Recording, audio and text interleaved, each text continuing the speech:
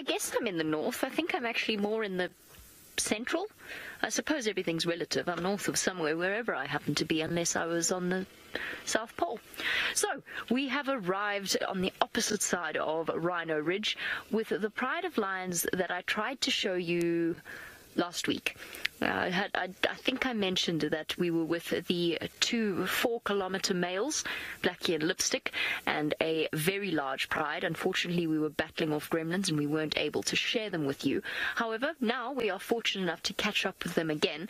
I suspect that the female that we saw, remember if you cast your mind back, those of you that were watching that sunrise safari, if you cast your mind back to those two tiny little weeny cubs that came trotting along right past the vehicle, I think that is the same pride. No, I know that is the same pride.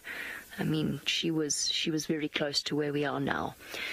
And if I had to guess, and I will try and confirm this, I have been told that this is the case, but I'm going to try and just confirm for you. Um, if I had to guess, I would say that this is the Ridge Pride. It would make sense. The cubs are the right age for when I was first introduced to the Ridge Pride mm, a couple of months ago. So I suspect that this is them. And we have some very sleepy lionesses. And that's one, two, three, four, five, six, seven, eight, nine. We've got nine lying over there.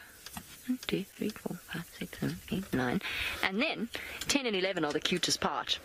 10 and 11 are over there. Look at this little chap. So the two tiniest cubs are not here. I don't know if their mother is or not. And hopefully during the course of the afternoon, they keep us well and truly entertained. They are hungry. They're very empty-bellied. Oh, that looks like the least comfortable pillow that he could have chosen out here. Well, since our lions are feeling relatively sleepy, it's time, of course, for the dogs to be getting up. Let's go and find out if they're voting by sneezing.